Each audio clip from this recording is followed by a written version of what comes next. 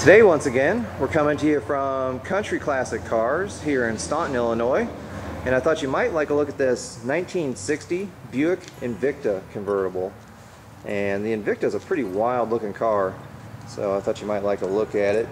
You can see it has quad headlamps up front with a nice big chrome bumper.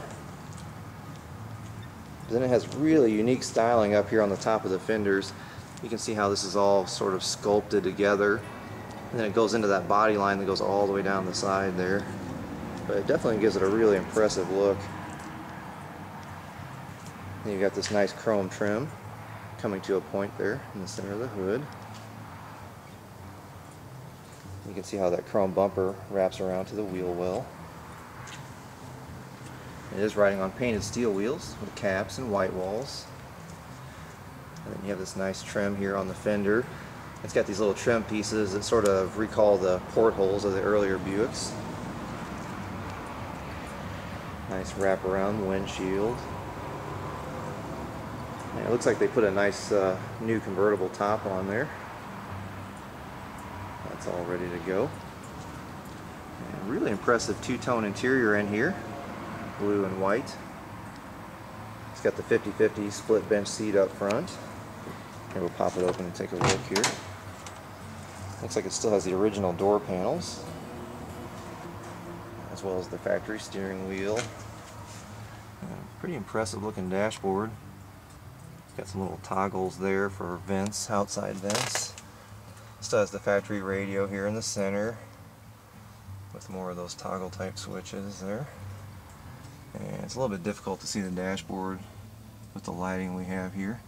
But it's got a big bar style speedometer there. I mean, it's looking nice in there. Pretty sharp. Here we'll continue on out back. You can see it's got a pretty massive set of fins back here. But by 1960, you know, they're starting to kind of lay over. It's parked in here a little bit tight, so I'll just do the best we can.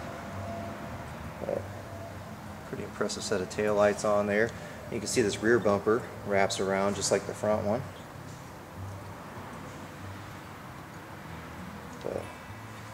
Definitely a sharp looking car.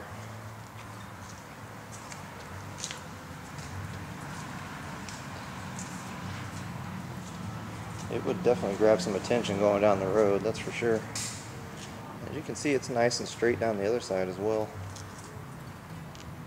Okay, let's go ahead and pop open the hood. We'll take a look under there. Alright, it's looking nice and original under the hood here. In fact, uh, I believe it's still wearing its factory paint and everything. It is powered by a nailhead V8.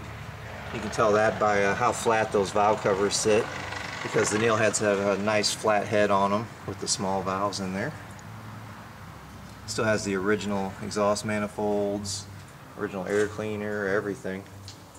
It's basically been left untouched under here. Very nice. I'm not sure of the cubic inches on this one. I'll have to look that up and add it for you when I get home.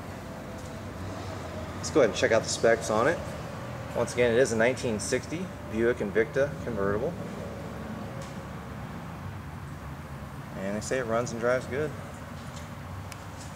But anyway, guys, I just thought you'd like a look at that one.